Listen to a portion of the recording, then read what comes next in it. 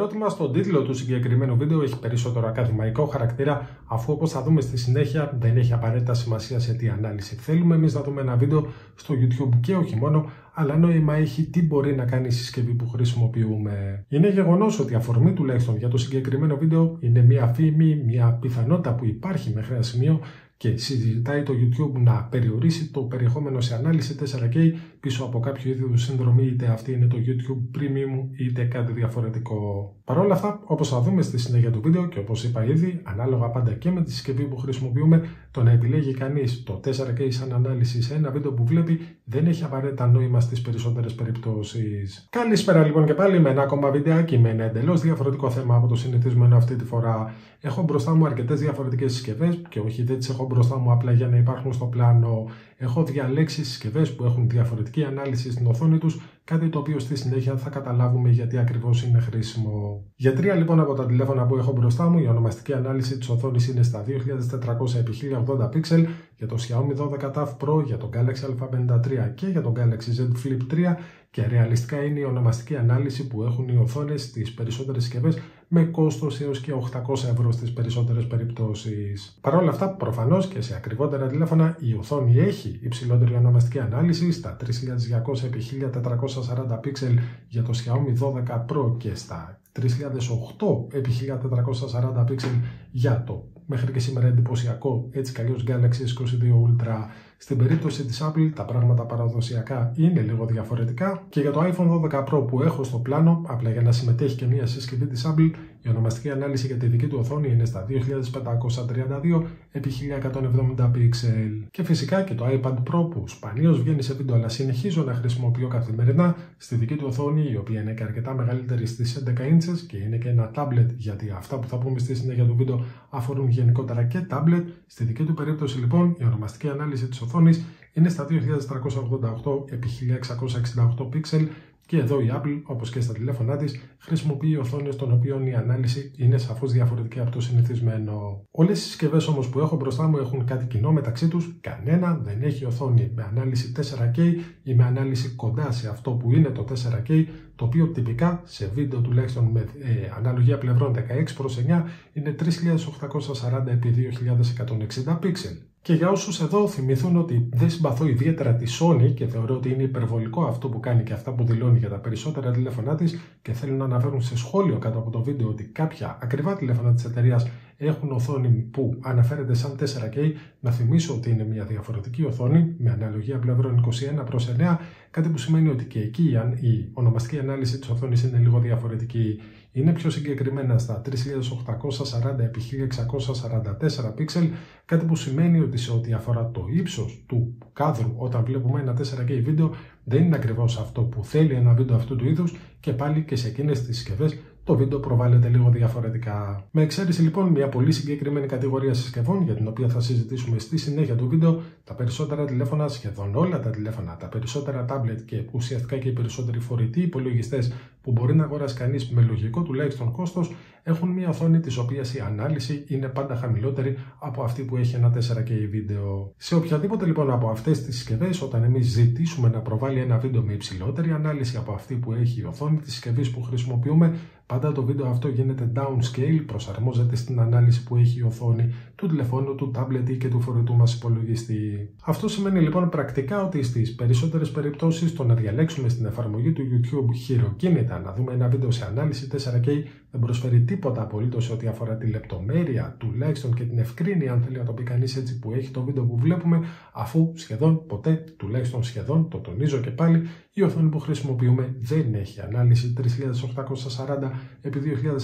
2160 pixel και δεν βλέπουμε στην ουσία ένα 4K βίντεο. Και όπως είπα και λίγο νωρίτερα, υπάρχει μια κατηγορία συσκευών που αποτελεί εξαίρεση σε αυτό που περιγράφω και μια ακόμα η οποία είναι σχεδόν εξαίρεση. Το σχεδόν εξαίρεση αφορά φορητούς και σταθερούς υπολογιστές που έχουν μια οθόνη με ανάλυση 4K, είτε κανονική είτε ένα wide monitor με ανάλυση υψηλότερη ακόμα και από αυτή. Προφανώς δεν είναι ένα είδος συσκευής που χρησιμοποιεί κανείς καθημερινά, δεν είναι πολλοί αυτοί που έχουν ένα λάπτοπ με αυτό το κόστος και πιθανότατα δεν είναι πολλοί και αυτοί που έχουν μία οθόνη στο σταθερό τους υπολογιστή με αυτή την ανάλυση. Σε αυτή την περίπτωση προφανώς και έχει νόημα και είναι χρήσιμο να βλέπουμε ένα βίντεο με όσο το δυνατόν καλύτερη και υψηλότερη ονομαστική ανάλυση, αποτελεί όμως ένα μικρό ποσοστό του συνόλου. Και η δεύτερη κατηγορία συσκευών, η οποία είναι προφανώς εξαίρεση από όλα αυτά, είναι οι τηλεοράσεις, αφού εδώ και αρκετά χρόνια πλέον, ασχετά από το μέγεθος, τη διαχώνιο, τη διάσταση μιας τηλεόρασης που έχει κανείς ή που θέλει να αγοράσει, μια τηλεόραση με πάνελ το οποίο έχει όντως 4K ανάλυση, 3840 x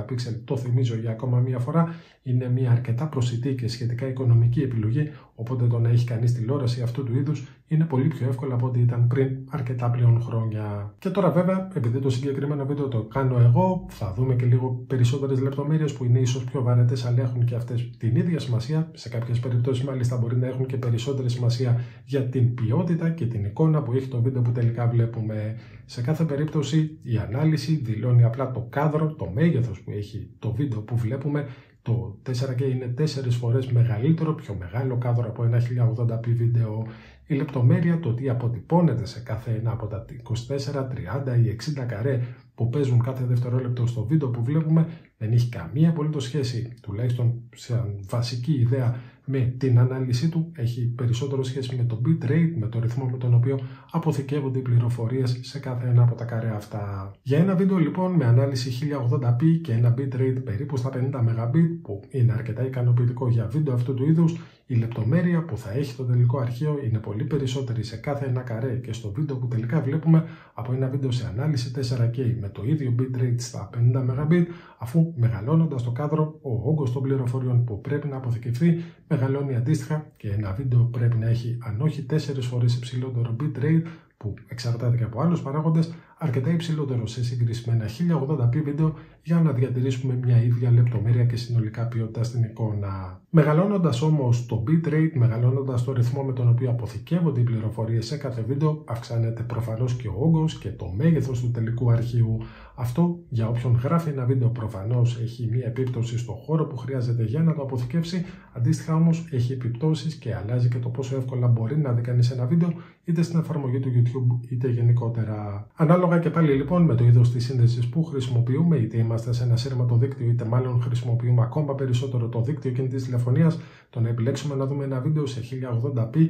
έχει χαμηλότερη απέτηση σε ταχύτητα, ο όγκος δεδομένων που μεταφέρεται στη συσκευή μας είναι μικρότερος, κάτι που ειδικά στην περίπτωση του δικτύου κινητής τηλεφωνίας έχει μεγάλη διαφορά, αφού για τους περισσότερους από εμάς το πακέτο με τον όγκο δεδομένων που έχουν στο νούμερό τους, είτε είναι καρτοκινητό είτε είναι συμβόλαιο, καταναλώνεται, αδειάζει, μειώνεται με, μεγάλη, με πιο γρήγορο τρόπο όταν ζητήσουμε από τη συσκευή μας να παίξει ένα βίντεο σε ανάλυση 4K, ειδικά από τη στιγμή που όπως είπαμε συνήθως δεν έχει και ιδιαίτερο νόημα αυτό. Εδώ, για να είμαι απόλυτα δίκαιος, κάτι βέβαια που εξαρτάται και από την ποιότητα του αρχείου που θέλουμε να δούμε και το πώς έχει γίνει η εγγραφή του εξ αρχής, είναι κάποιες περιπτώσεις στι οποίες όταν ζητήσουμε να δούμε ένα 4K βίντεο το οποίο γίνεται downscale σε χαμηλότερη ανάλυση στην οθόνη της συσκευής που χρησιμοποιούμε, πιθανόν να κερδίσουμε κάτι πολύ μικρό σε λεπτομέρεια και κάτι πολύ μικρό σε ό,τι αφορά τη συνολική ποιότητά του. Δεν είναι όμως κάτι δεδομένο, δεν ισχύει σε καμία περίπτωση για όλα τα βίντεο που μπορεί να δει κανείς και δεν είναι απαραίτητα και τόσο χρήσιμο ώστε να είναι απαραίτητο.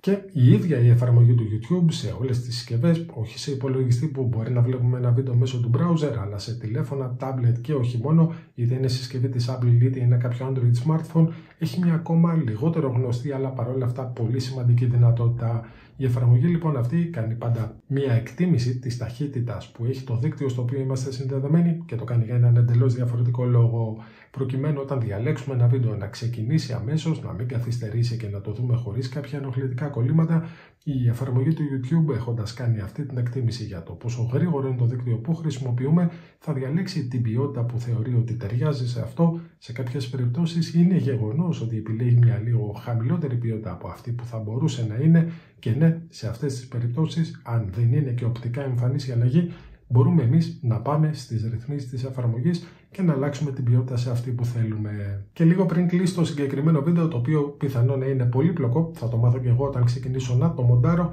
να αναφέρω κάτι που έχει επίσης πολύ ενδιαφέρον. Η εφαρμογή του YouTube είναι από τις λίγες πλέον που δίνουν ακόμα την επιλογή να αλλάξουμε την ανάλυση στην οποία βλέπουμε ένα βίντεο και αυτό γιατί όλες οι άλλες εταιρείες πιθανόν έχουν καταλάβει ότι αυτό δεν έχει νόημα στην περίπτωση του Netflix, στην περίπτωση του Disney Plus και άλλων εφαρμογών αυτού του είδους Η εφαρμογή γνωρίζει σε ποια συσκευή είναι εγκατεστημένη, γνωρίζει τι οθόνη έχει η συσκευή στην οποία είναι εγκατεστημένη και επιλέγει πάντα να διαλέξει και να μας προβάλλει ένα βίντεο στην ανάλυση που υποστηρίζει η οθόνη αυτή. Στην περίπτωση του Netflix είναι αλήθεια ότι κάποιες φορές η εκτίμηση που κάνει η εφαρμογή δεν είναι απαραίτητα η καλύτερη και για κάποια λεπτά μπορεί να ξεκινήσουμε να βλέπουμε ένα βίντεο, μια ταινία σε χαμηλότερη ανάλυση από αυτή που υποστηρίζει η συσκευή και η σύνδεση που έχουμε εκείνη τη στιγμή στο ίντερνετ